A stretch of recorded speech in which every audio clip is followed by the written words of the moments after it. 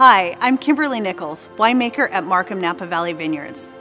An altruist is a person who unselfishly devotes themselves to the welfare of others.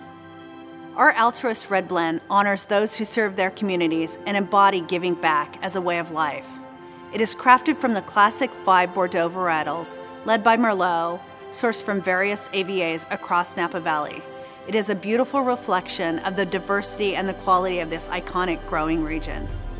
The Merlot provides a juicy, velvety core, and Cabernet Sauvignon's power serves as the backbone and balances the softness of the fruit with structure and intensity. Cabernet Franc blends floral aromatics, Petit Verdot provides gorgeous color, and Malbec contributes juicy boysenberry fruit. It's delicious and opulent. We blend prior to bottling, which allows us to let each of the varietals shine individually and allow the 16 months of oak aging to develop.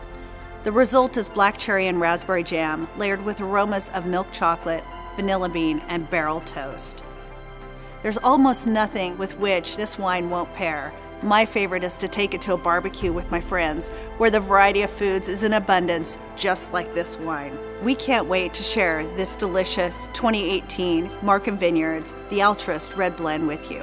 Cheers.